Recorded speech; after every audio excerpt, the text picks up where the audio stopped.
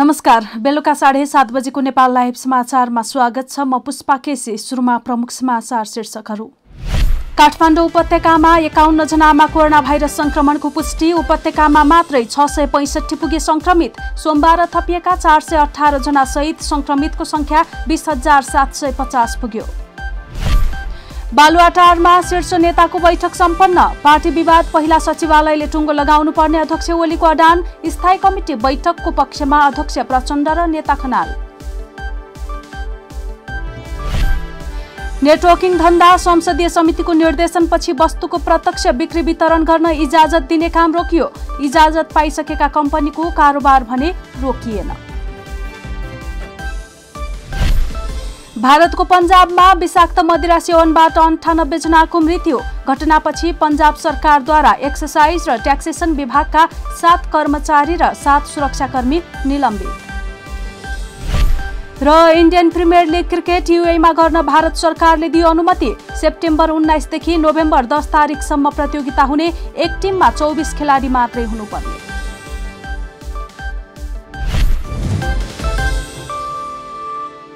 अब समाचार विस्तारमा। काठमाडौँ उपत्यकामा एकाउन्न जनामा कोरोना भाइरस संक्रमणको पुष्टि भएको छ। स्वास्थ्य तथा जनसङ्ख्या मन्त्रालयले सार्वजनिक गरेको विवरण अनुसार काठमाडौँमा त्रिचालिसजना संक्रमित थपिएका छन्। केन्द्रीय प्रयोगशाला टेकु पाटन अस्पताल त्रिवी शिक्षण अस्पताल सशस्त्र प्रहरी कोरोना अस्पताल स्टार अस्पताल लगायतका स्थानमा गरिएको परीक्षणमा संक्रमण पुष्टि भएको हो। यसै गरी ललितपुरमा तीन र भक्तपुरमा पाँचजना थपिएका छन्। यो सँगै काठमाडौँमा संक्रमितको संख्या चार सय त्रियानब्बे ललितपुरमा एक सय आठ र भक्तपुरमा चौसठी व्यक्तिमा कोरोना संक्रमण भएको छ। यो सँगै काठमाडौँ उपत्यकामा कोरोना संक्रमितको संख्या छ सय पैँसठी पुगेको छ। यसै गरी पछिल्लो चौबिस घण्टामा नेपालमा थप चार सय अठार जनामा कोरोना भाइरसको संक्रमण देखिएको छ। सोमबार थपिएका सहित नेपालमा संक्रमितको संख्या बिस हजार सात सय पचास पुगेको हो। चौबिस घण्टामा देशका विभिन्न प्रयोगशालामा गरिएको परीक्षणका क्रममा यी व्यक्तिमा कोरोना भाइरसको संक्रमण पोजिटिभ देखिएको मन्त्रालयका प्रवक्ता डाक्टर गौतमले जानकारी दिएका हुन्। यस्तै पछिल्लो चौबिस घण्टा यता तीन सय अन्ठाउन्न जना कोरोना संक्रमण मुक्त भएका छन्। यो सहित नेपालमा चौध हजार नौ सय एकसठी जना उपचारपछि निको भएका छन्। नेपालमा सन्ताउन्न जना कोरोना संक्रमितको मृत्यु भएको जानकारी मन्त्रालयले दिएको छ। एसिड प्रहार गर्नेलाई कडा कानून बनाई कारवाही गर्न पीडितहरूले माग गरेका छन्। प्रतिनिधि सभा अन्तर्गतको महिला तथा सामाजिक समितिको सोमबारको बैठकमा उपस्थित एसिड आक्रमणका पीडितहरूले कडा कानून बनाउन माग गरेका हुन्।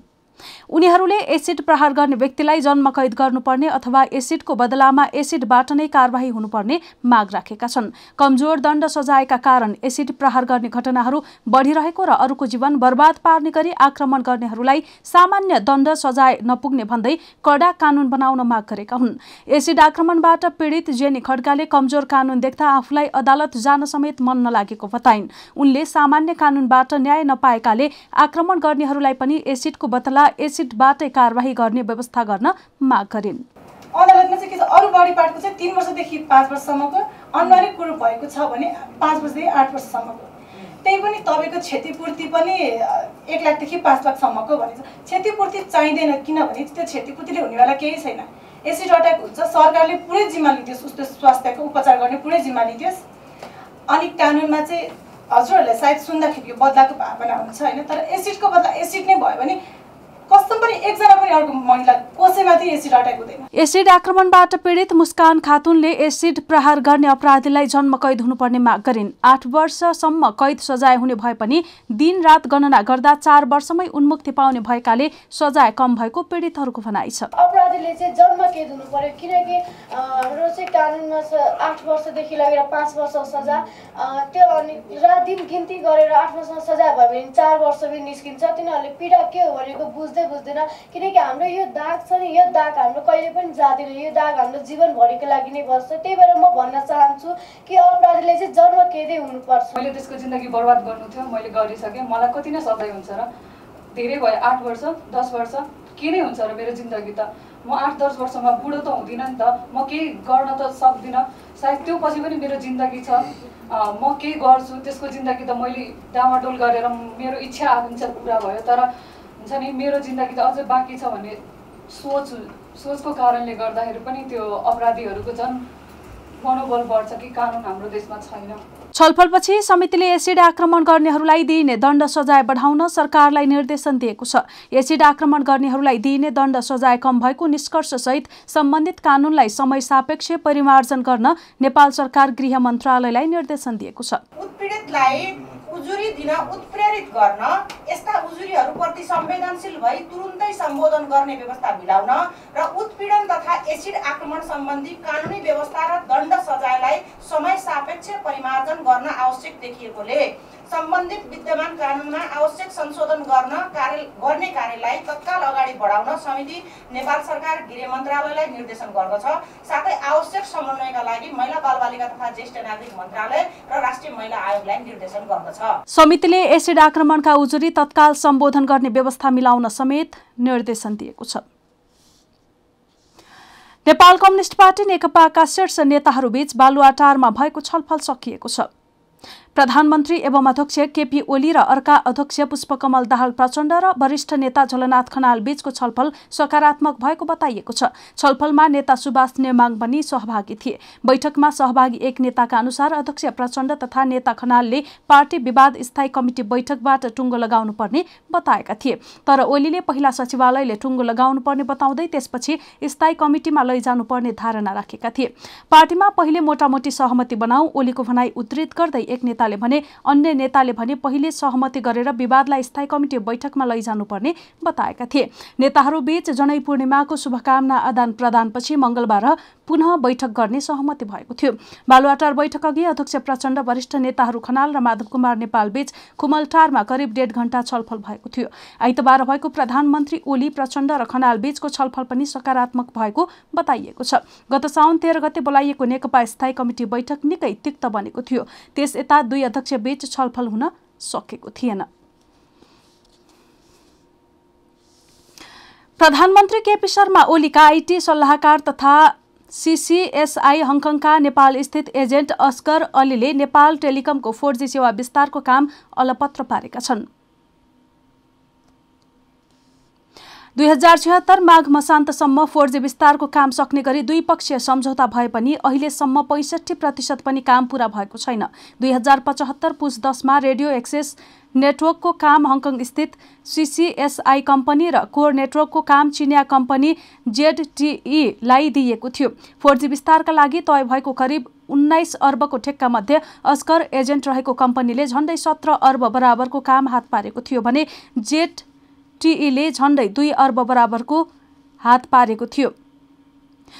जेड जेडटिईले हात पारेको कोर नेटवर्कतर्फको काम भने नब्बे प्रतिशत सम्पन्न भएको छ तर अस्कर अली प्रत्यक्ष संलग्न रहेको सिसिएसआईले भने पैँसठी प्रतिशत पनि काम सम्पन्न गरेको छैन। फोर जी विस्तारको काम अहिले कोर नेटवर्कतर्फ नब्बे प्रतिशत र ऱ्यामतर्फ भने पैँसठी प्रतिशत मात्रै भएको नेपाल टेलिकमका प्रबन्ध निर्देशक दिल्लीराम अधिकारीले बताए। उनका अनुसार फोर जी विस्तारको काम फागुनदेखि रोकिएको छ। टेलिकमले दुई हजार छयत्तर माघसम्म नै देशभरका सात सय त्रिपन्न स्थानीय तहमा फोर जी विस्तार गरिसक्ने लक्ष्य दिएको थियो। संसदीय समितिको निर्देशनपछि वस्तुको प्रत्यक्ष बिक्री वितरणका लागि इजाजत दिने काम रोकिए पनि इजाजत पाइसकेका कम्पनीले गरिरहेको अवैध नेटवर्किङ धन्दा र उनीहरूको कारोबार भने रोकिएको छैन। प्रत्यक्ष वस्तुको प्रत्यक्ष बिक्री वितरणका नाममा इजाजत लिएर केही कम्पनीले अवैध नेटवर्किङ धन्दा चलाउन खोजेपछि सङ्घीय संसद प्रतिनिधि सभा अन्तर्गतको उद्योग तथा वाणिज्य र श्रम तथा उपभोक्ता हित समितिले गत बिहिबार तत्काल त्यस्तो इजाजत दिने काम रोक्न उद्योग वाणिज्य तथा आपूर्ति मन्त्रालयलाई निर्देशन दियो। तर इजाजत पाइसकेका कम्पनीहरूका हकमा भने समितिले मन्त्रालय र इजाजत दिने निकाय वाणिज्य आपूर्ति तथा उपभोक्ता संरक्षण विभागलाई कुनै निर्देशन दिएन। समितिको निर्देशनमा इजाजत पाइसकेका कम्पनीलाई के गर्ने भन्ने कुरा खुलाइ खुलाइएको नदेखेपछि वाणिज्य विभागले पनि ती कम्पनीलाई थप कुनै निर्देशन गरेन। जबकि इजाजत पाएका कम्पनी र त्यसमा आबद्ध हरेक व्यक्तिहरू विगतमा ठगी धन्दामा लागेको र अहिले पनि वस्तुको प्रत्यक्ष बिक्रीका आडमा त्यही धन्दालाई बिउताउन खोजिरहेका छन् भन्ने बारे विभाग मन्त्रालय र समिति समेत जानकार थिए।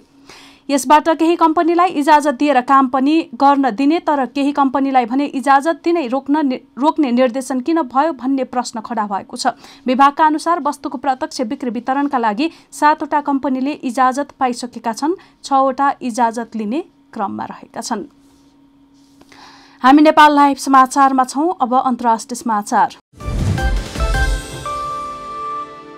भारतको पन्जाबमा विषाक्त मदिरा सेवनबाट अन्ठानब्बे जनाको मृत्यु भएको छ। विषाक्त मदिरा पिउँदा मृत्यु भएको यो घटना पन्जाबको सबैभन्दा ठूलो त्रासदीपूर्ण हो। पन्जाबका तीन जिल्ला अमृतसर गुरुदासपुर र तरन तारणमा यो त्रासदीपूर्ण घटना भएको हो। घटनापछि पन्जाब सरकारले एक्सर्साइज र ट्याक्सेसन विभागका सात कर्मचारीलाई निलम्बन गरेको छ। यस्तै पन्जाब प्रहरीका सात सुरक्षाकर्मी पनि ड्युटीमा लापरवाही गरेको अभियोगमा निलम्बनमा परेका छन्। प्रहरीले अहिलेसम्म पच्चिसजनालाई पक्राउ गरेको छ भने ठूलो मात्रामा अवैध मदिरा बरामद गरेको छ। पन्जाबका मुख्यमन्त्री क्याप्टन अमरिन्दर सिंहले पीडित परिवारहरूलाई दुई दुई दुई लाख आर्थिक सहयोग घोषणा गरेका छन्। उनले दोषीमाथि कडा कारवाही गरिने पनि आश्वासन दिएका छन्। प्रदेशका विपक्षी पार्टीहरूले त्रासदीपूर्ण घटनाका लागि सरकार जिम्मेवार रहेको बताइरहेका छन्। नेपाल लाइभ समाचारमा अब खेल समाचार। Indian Premier League cricket United Arab इमिरेट्समा गर्न भारत सरकारले अनुमति दिएको छ। आइतबार भएको छलफलपछि भारत सरकारले युएमा तेह्रौं संस्करणको आइपिएल गर्न स्वीकृति दिएको हो। यो सँगै अब युएमा सेप्टेम्बर उन्नाइसदेखि नोभेम्बर दस तारिकसम्म प्रतियोगिता हुनेछन्। भारतीय क्रिकेट बोर्डले कोरोनाका कारण रोकिएको आइपिएल युएमा गर्नका लागि भारत सरकारसँग अनुमति मागेको थियो। त्यस्तै एक टिममा चौबिस खेलाडी मात्रै हुनुपर्ने व्यवस्था पनि ल्याएको छ। कोरोना भाइरसको जोखिमलाई मध्यनजर गर्दै एउटा टिममा चौबिसभन्दा बढी खेलाडी राख्न पाइने छैन। टी ट्वेन्टी विश्वकप क्रिकेट यो वर्ष नहुने भएसँगै रोकिएको आइपिएल गर्न मौका पाएको हो। यो सँगै आइपिएल युएमा दोस्रो पटक सञ्चालन हुन लागेको हो। यसअघि सन् दुई हजार चौधमा भारतमा चुनाव हुँदा आइपिएलका बिस खेल युएमा भएका थिए। नेपाल लाइभ समाचार सकिएको छ। समाचारको अन्त्यमा प्रमुख समाचारका शीर्षकहरू फेरि एकपटक। काठमाडौँ उपत्यकामा एकाउन्न जनामा कोरोना भाइरस संक्रमणको पुष्टि। उपत्यकामा मात्रै छ सय पैँसठी पुगे संक्रमित सोमबार थपिएका चार सय अठार जना सहित संक्रमितको संख्या बिस हजार सात सय पचास पुग्यो। बालुवाटारमा शीर्ष नेताको बैठक सम्पन्न। पार्टी विवाद पहिला सचिवालयले टुङ्गो लगाउनु पर्ने अध्यक्ष ओलीको अडान। स्थायी कमिटी बैठकको पक्षमा अध्यक्ष प्रचण्ड र नेता खनाल। नेटवर्किङ धन्दा संसदीय समितिको निर्देशनपछि वस्तुको प्रत्यक्ष बिक्री वितरण गर्न इजाजत दिने काम रोकियो। इजाजत पाइसकेका कम्पनीको कारोबार भने रोकिएन। भारतको पन्जाबमा विषाक्त मदिरा सेवनबाट अन्ठानब्बे जनाको मृत्यु। घटनापछि पन्जाब सरकारद्वारा एक्सर्साइज र ट्याक्सेसन विभागका सात कर्मचारी र सात सुरक्षाकर्मी निलम्बित। र इन्डियन प्रिमियर लिग क्रिकेट युएमा गर्न भारत सरकारले दियो अनुमति। सेप्टेम्बर उन्नाइसदेखि नोभेम्बर दस तारिकसम्म प्रतियोगिता हुने एक टिममा चौबिस खेलाडी मात्रै हुनुपर्ने। नेपाल लाइभ समाचार आज यति नै। हाम्रो सबै कार्यक्रम युट्युब फेसबुक ट्विटर र हाम्रो वेबसाइट नेपाल लाइभ डट कममा पढ्न र हेर्न सक्नुहुनेछ। नमस्कार।